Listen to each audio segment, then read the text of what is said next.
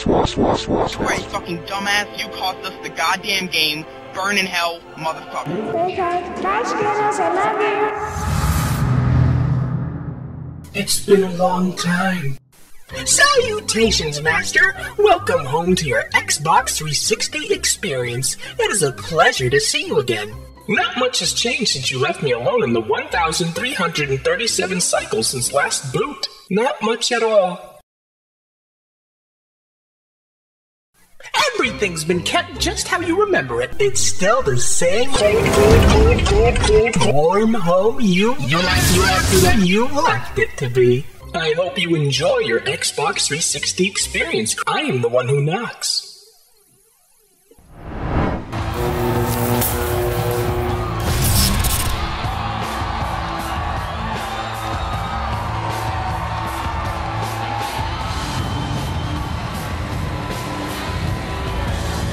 Night of firsts. The first time you've seen Xbox 360, and the first time you'll see the Killers perform like No. this. Ladies and gentlemen, no, Elijah, the no. No, Mr. Frodo. That's nope. nope, that's it. Take take me back. Take me back to 2005. I will do anything. I originally wasn't going to do this video, but with Christmas having just passed, I was getting all nostalgic, and I felt, you know, let's take a trip down memory lane by looking at the Xbox 360 and how it stacks up 15 years later. This is not some sort of all encompassing retrospective or ranking or educational video. This is me talking about a few select games and memories with the 360. Today, it seems like every thrift shop or game store I go to, I'll find a ton of Xbox 360s just orgied together in this big dustbin going for stupid cheap and really it's just surreal. I mean, I remember when I used to see this thing as this enigmatic beast, like the pinnacle of tech and luxury. I remember thinking I am never going to own one of these. It's it's not for peasants like me. This is for people like Snoop Dogg. But do you ever go into like the first person shooters? You ever play any of the online games? I ain't really good at that. I know how to shoot people in real life. I don't know how to really do it in a video game. To tell you the truth, I still see the 360 as this modern piece of tech, even though this thing is old.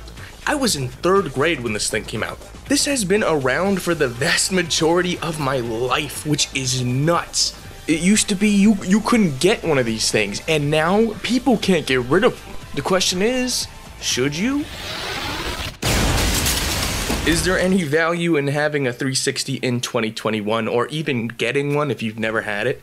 I stick with mine purely out of sentimental value to this fat machine.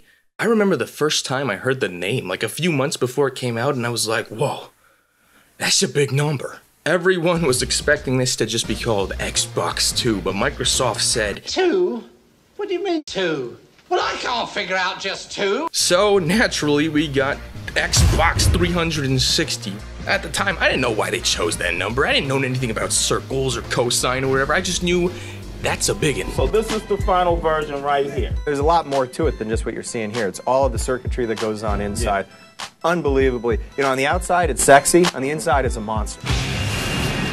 The first images looked like something out of Transformers, which is funny because later it was in Transformers. The first time I had a demo kiosk at, at my local Target, I played a demo of Call of Duty 2 back when there were only two of them. I didn't even know what I was playing, what it was called. I can't even begin to describe the awe of seeing all this visceral action in high definition. You know, I didn't know what HD was. I didn't know why everything I was looking at was so crispy and clean. It was just sensory overload. Hi, Mr. Target Dog. I'm eight. What's a swaka? They also had King Kong, the movie game. Kameo looked absolutely beautiful. Viva fucking Pinata. I had never seen anything like these games. This is how the 360 became a symbol of utter opulence. This was the peak. Games will never be able to look better than Fantastic Four 2, Rise of the Silver Surfer, the official movie game now. Come on, it's Marion time. Years went by, I would see adverts and demos for 360 games. They just looked like they were on a whole different level. While everyone was spewing blood and guts with a chainsaw gun, I was playing Thrillville on PS2. Hey. Don't hate me, but who are you again? My Richie Rich friend, he had a 360, and I remember him showing me Gears of War 2.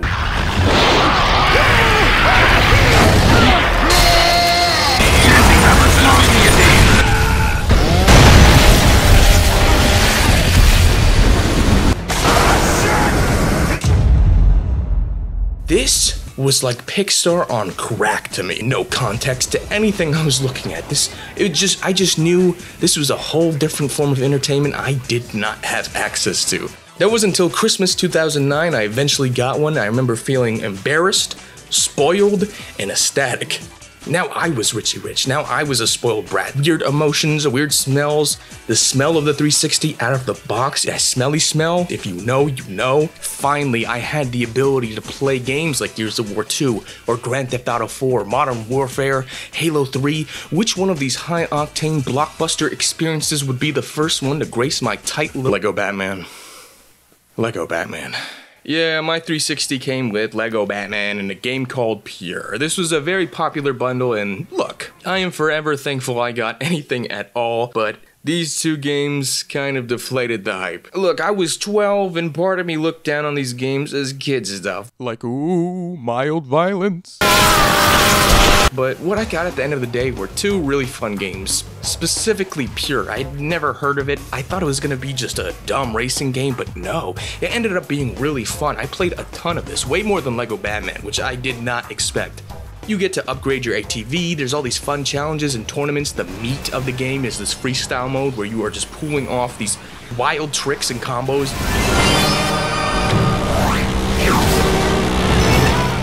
Just so much arcadey fun. I seriously, I have a soft spot for this game. I try to bring it up in conversation wherever I can. 911, what's your emergency? Um, hello? Have you ever played Pure? The amount of content you get in this game is a pretty good value. No dumb loot boxes, all the cosmetics are in-game unlockables. It's just a clean experience. Remember those? After LEGO Batman Pure, the first games I got were Gears of War and Halo 2. And Halo 2 was especially nice because at the time I had only played Halo 1 on this really crappy laptop and I had no way to continue the story after that. So being able to finally play the sequel and see what happens next, it was worth the price of admission alone. I even got to play a little bit of the online before they shut it down in April 2010. It was like arriving to a party super late that also just happened to be a funeral. Well, little time I had with that one was really fun too. After those two games, I actually ended up getting another Xbox exclusive, uh, uh Perfect Dark Zero.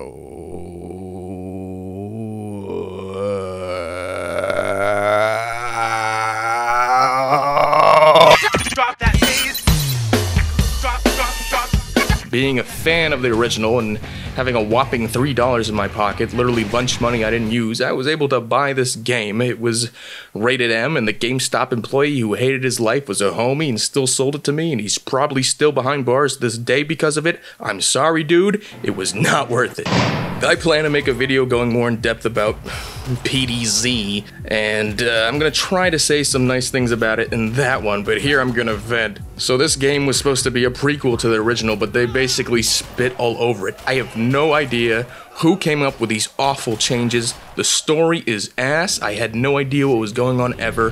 This is a money gig for you, right? Whatever you're getting to rescue him, I'll double it for you to take a walk instead. Shut up, or I drop you like a bad conversation. The original game was very fluid and natural, and here it's some of the most stiff gunplay I've ever experienced. For some reason, your character moves like she's moving through wet cement up to her knees. I, I don't know how the developers made this game and thought it felt fun to play. It feels awful. The, the game looks pretty, kind of. Characters look really weird. Everything has this waxy sheen to it. This, this, this pasty look. It's just funny to think the original Xbox launched with Halo, which was Halo, and then the 360 had this.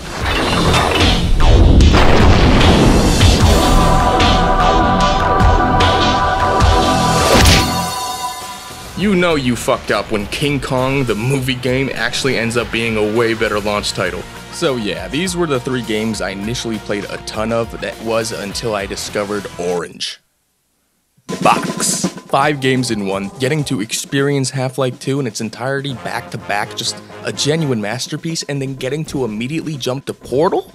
Both practically perfect games? The humor, the pacing, the storytelling, atmosphere was all unique to me and incredible. Like I was saying before, this whole medium was beyond me before I had a 360. I was only playing generic, terrible license games. I didn't know games could even tell a story, let alone a really good one. All we had was Over the Hedge. Jeepers, we've been worried sick. Look!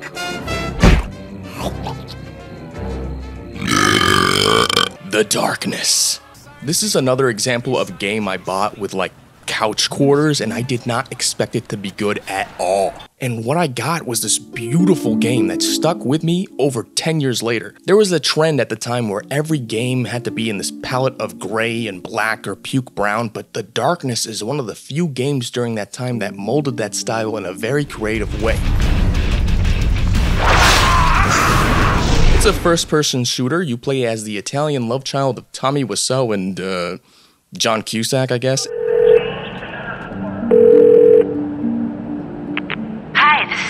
Oh, hi, Mark. What's new with you? That's me. Hiya, baby. Happy birthday. I just got into my new place. You were gonna help me unpack. In a few minutes, bitch. These demonic creatures latch onto you because of your cursed bloodline. You have to use the darkness to increase their power. You eat people's hearts to increase your level and get more powers like this dark abyss black hole. It's incredible. It's it's not the best game in the world or anything, but it, it left a really lasting impression on me. Follow me. Follow me to freedom. When this game came out, most people would have considered it uh, like a B game. Lower budget, not up to par with the AAA titles. So, with that being said, you don't see this type of quality in a game like this usually. There's this part where you go visit your girlfriend in this pretty bad part of town and you watch To Kill a Mockingbird, the actual movie. After all, I'm the only father you have. Wouldn't want me to get out there and get my head knocked off, would you? I ain't coming down. Because what's more romantic than exposing deeply rooted systematic racism? And if you want, you can choose to watch the entire thing uninterrupted on a screen inside of another screen. For those of you who are unaware, this is what they call the Criterion Collection. Hey babe, after this, you wanna watch a Serbian film? They randomly made a sequel to The Darkness uh, out of nowhere, like five years later. I heard mixed things. It looked really different. It's cel shaded to match more of their actual Darkness comic that these games are based on. So I actually checked out the demo on the Xbox 360 Marketplace, and uh.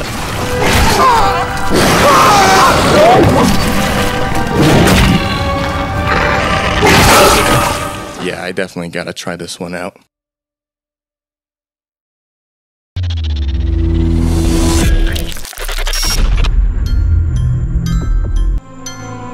Welcome to Suburbia, home of the Whopper.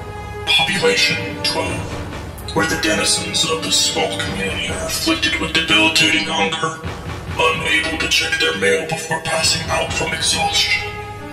They are stalked like prey by their king, who has amassed any and all food or crop, terrifying his citizens, who obeys every command in return for sustenance.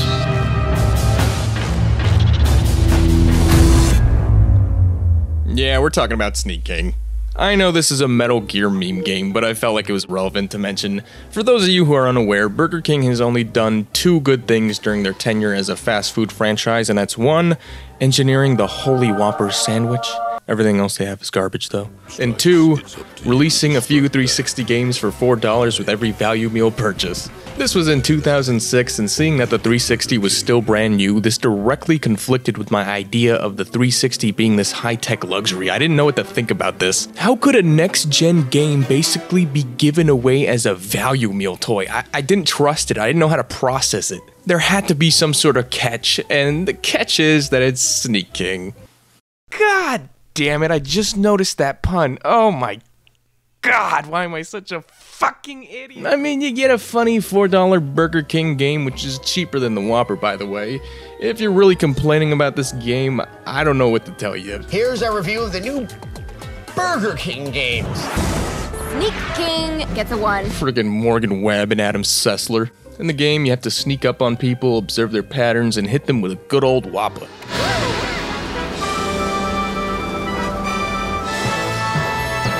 Surprising them from hiding spots or consecutively delivering food without being caught nets you more points to chain together. It's a simple distraction for a few hours. This game got reviewed like it was some sort of actual release. Like, come on. Best part about Sneak King is that it's a frame broiled, Xbox brand exclusive. Meaning PlayStation is never gonna have this. That's right. Have fun with your Big Little Planet your mag. But for real though, as far as exclusives go, on the 360 you're kind of limited to Master Chief, Meathead Marcus, and uh, Car. Halo and Gears were two franchises I really loved in their prime. What was really cool about those games is they had a story to tell and they wrapped up their trilogies in such a satisfying and complete way. So good, in fact, that my interest started to wane as time went on. Seeing the PS3 have so many more exclusives, it kind of put a spotlight on Halo and Gears at a very bad time. After Halo Reach kind of brought everything full circle and Gears 3 came out, I kind of became indifferent to the spin offs and Halo 4. Both these games came out toward the end of the 360's life, and it felt very strange to see these franchises end their time on this console in such a weird, kind of played out note especially when they used to be in their absolute prime. People bought 360s for these games. But really, do I want to buy a Gears game to play as Baird? Oh great, Halo has these robot dog things. Yay. Look, it's not like I don't like these games anymore, it's just that to me, they're already complete. They had their time on the 360 and it wrapped up so well. Outside of exclusives, a lot of games on the 360 are now actually some of the worst versions you can play. So many remasters came out this gen. I mean, why would you suffer through Dark Souls on a 360 that's seconds away from combustion when you could play Dark Souls with a stable frame rate on the toilet thanks to the Switch? Nearly everything got a remaster or a far superior PC port. The Xbox One and the Series X both play nearly every 360 game much better than the 360 actually can. If you go this route, there's very, very few games you're gonna miss out on, I'm telling you. I don't know, maybe if you're really dying to play Naughty Bear, then you should probably hold on to that 360. But what about now, in 2021, is there really a real reason to buy one? I think back to when I was a kid and when I got really interested in like retro gaming and things that were a little bit before my time, like the Super Nintendo. And I just can't see some kid today who's maybe passionate about video games and their history wanting to buy a 360. It's easily the least optimal way to play its library. The Xbox 360 now kind of reminds me a lot of how I used to see the PlayStation 1. Both the PS2 and PS3 played PS1 discs, so seeing a PlayStation in the wild, it really just didn't do much for me. I didn't really feel compelled to own one. I can't really come up with a compelling reason to buy a 360 beyond maybe just some nostalgic value. Give it a year or two, the Xbox One is going to be in the same exact dustbin going for super cheap. Oh shit, oh, oh. You guys hear that? That's the bell. That's the bell. You know what that means? CRT time. RT time. Oh my god, it's CRT time. It's a staple of the show. I didn't just make that up on the spot now. Don't don't be silly.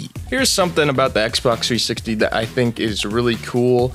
Uh, not only was it among the first consoles to support HD, the fact that it came out in 2005 meant that for a good chunk of its life, the majority of people playing Xbox 360 games were playing it on a CRT in standard definition. For an entire console generation, people have experienced burnout in the only way it's been possible. But if you've only played it this way, you haven't experienced it at all. Burnout has now entered the era of high definition. Test now, even a game like Red Dead Redemption, which came out in 2010, it, it looks pretty natural on a CRT. It doesn't look half bad. I, I, know holding my phone at the TV isn't going to demonstrate my point, but you gotta take my word for it. It, it looks pretty good. It honestly even obscures the rougher edges. I would, I would have to be very pretentious uh, to say this is the best way to enjoy Red Dead Redemption, but if you're if you're some kid who's like stuck in the the Philippines or something with only a CRT and a 360 games, you could feasibly play through this game no problem. And that goes for a lot of these titles. There's something special about Gears of War on a CRT at night. All these people in line for Halo 3 probably went home and played it in standard definition on a CRT, and it looks fine. Halo Anniversary, though, oof. Even when you play with the original graphics, you're still looking at a messy, letterboxed version of this game, and that just happened to be the trend with the 2010s as more people started adopting flat screen TVs. That just makes sense. Why would you release an HD remaster of a game just to have it be in standard definition? Any game pretty much 2011 or later is going to yield the same messy result. Can you guys see what my stats are in Dark Souls? Can anyone please tell me what my stats are? I just want to beat the four kings. Please help me get. Even something like Rayman Origins, which does have a standard definition port on the Wii, looks pretty bad and doesn't support 4.3 for some reason. I was really hoping this one would work, and, and I mean, like, come on. 2011, there had to be a good amount of kids who only had a CRT to play this on. Kid, do you know what an HDMI is?